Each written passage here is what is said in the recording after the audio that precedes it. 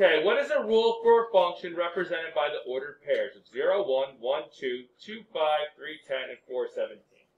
Uh, sometimes you can see it written as a table as well. Okay, and it just looks like this 0, 1, 1, 2, 2, comma 5, 3, 10, and 4, comma 17.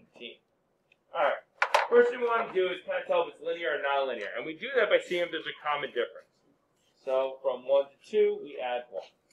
From 2 to 5, we added 3. Okay, bam. Right away we know this is clearly a nonlinear situation. I'm going to continue to find the common differences though. Plus 5, and then plus 7. And we'll come back to that in a little bit. Alright, so we know it's going to be nonlinear. We're going to have an exponent in our function rule. Now we're just going to kind of see what type of relationship it is. Is there a common ratio, or is there an exponential relationship between the x and y values? So, now we'll look to see if there's a common ratio. Well, if I multiply 1 times 2, I get 2. If I multiply 2 times 2, I get 4. I do not get 5. Therefore, there's no common ratio. All right? If there's no common ratio, we now start to see what's going to happen. It's going to be an exponential relationship. And that we're going to have an equation in the form of y equals something with the exponent. And because there's no common ratio, we're going to add 1. It's going to be a tail.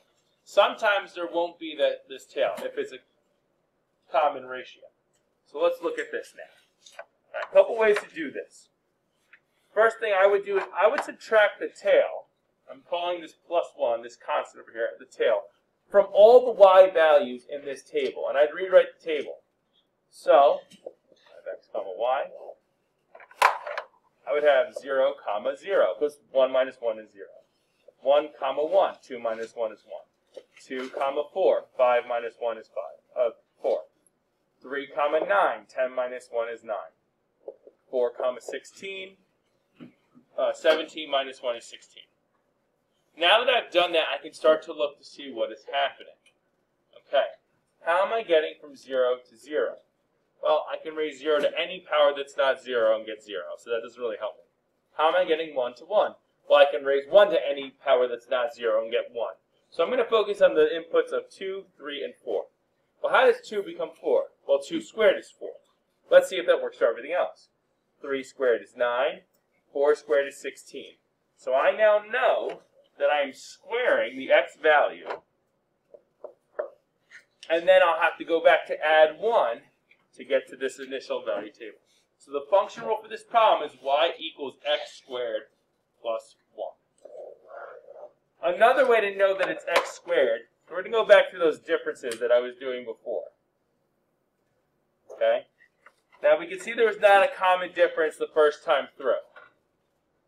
If there's a common difference the second time through with those numbers, talking about these numbers right here, that means you're going to have a variable square. And look at this. Plus 2, plus 2, plus 2. So there's a second common difference. So that means we're going to have an x squared term. And there's your answer. y equals x squared plus 1. Let's look at this next problem. All right. Again, we want to find the function rule represented by the following ordered pairs. We have 1, comma 2, 2, comma 4, 3, comma 8, 4, comma 16, and 5, comma 32. Again, I'm looking for a common difference first. Plus 2, plus 4, plus 8, plus 16. Oh, that's not working. So I'm going to look for a common ratio now. And look at that. I kind of figured it out as I was going through. It's doubling each time, right? I'm multiplying by 2 every time that I do this. That means I have a common ratio. When you have a common ratio, it's in the form of y equals whatever the ratio is raised to the x power. Because I'm multiplying by 2 each time, it'd be y equals 2 to the x power.